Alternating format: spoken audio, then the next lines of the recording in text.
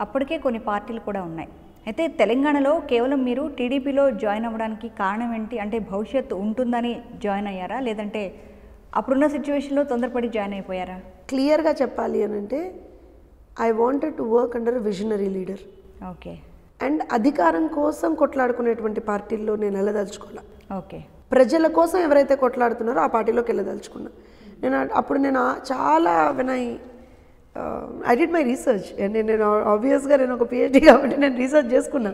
చేసుకున్నప్పుడు తెలుగుదేశం పార్టీకి ఆ సిద్ధాంతం ఉంది.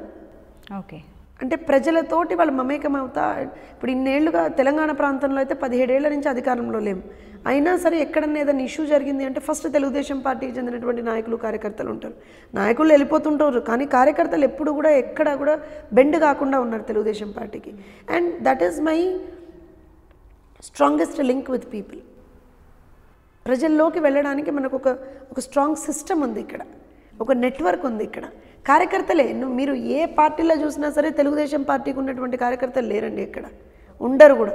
ఈ నిర్మాణం కూడా ఎక్కడ ఉండదు. అట్లాంటిది కొంత ఉన్నటువంటి సమీకరణాల దృష్ట్యా కొంత ఇబ్బందులు పడుతున్నటువంటి వాట వాస్తవం.